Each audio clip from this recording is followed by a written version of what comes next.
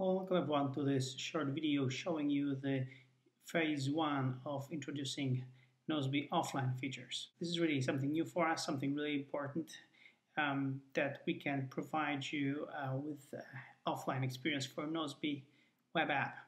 When you log in right now to Nozbe account, you can see there is a gray globe, uh, which basically means offline mode disabled.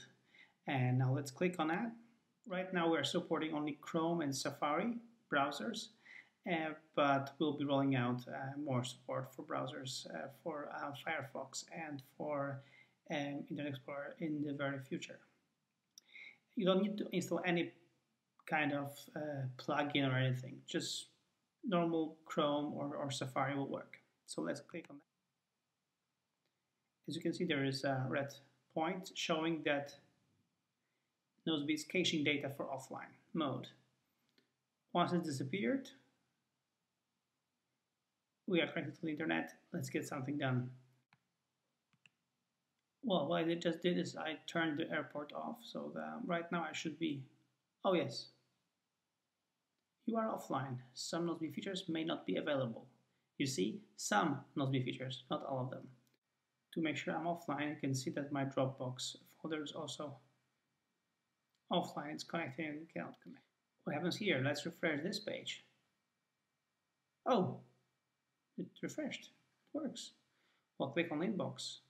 Oh, I can see my actions here. And let's click on the on some of the projects. I can, you know, see the project. Uh, let's try to add a new action. As you can see, it's not yet ready. Uh, we cannot add new actions yet. We cannot reorder actions yet and use drag and drop, but it's coming. But what you can do, you can browse your uh, projects, you can browse your actions, and you can mark them as done. Let's do some of that. And uh, let's go here and go here. As you can see, it works really fast. Everything works perfectly. And um, I could browse my uh, Nozbe account and browse my actions. All the actions, all the products should be available offline. Turning on my Wi-Fi. Here, the globe is green. I am online. And let's refresh the page again.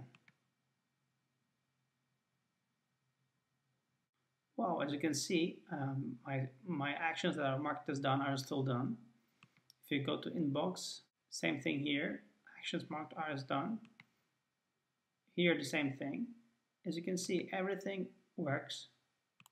And all the information that I have done when I was offline were synced automatically when the, connection um, was back.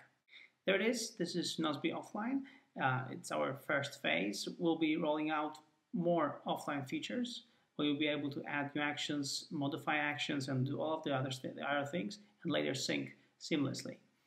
But this is a start. If you have a Chrome browser or Safari browser, make sure to check it out. I'm sure you'll love it.